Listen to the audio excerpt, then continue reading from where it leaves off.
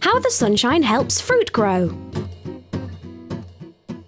Citrus fruits, such as clementines, are very hard to grow in the UK because they need lots and lots of sunshine, at least five hours each day.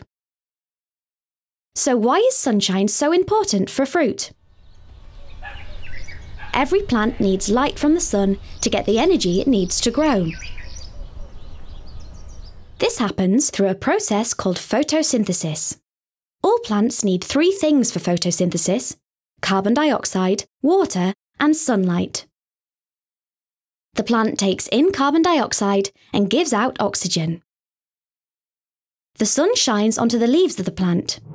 Inside, tiny parts of the leaf called chloroplasts use the energy from the sunlight to change the water and carbon dioxide into the food it needs to grow.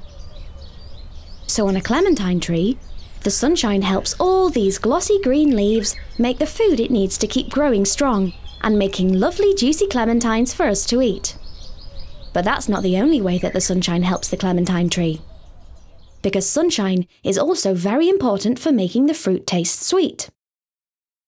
The more sunshine the clementine tree has, and the longer the fruit are on the tree in the sunshine, the more sugar will be in the juice of the fruit. That's why these fields in Spain are full of clementine trees and lots of other fruit trees too, because in this part of Spain, they have more than 2,600 hours of sunshine every year.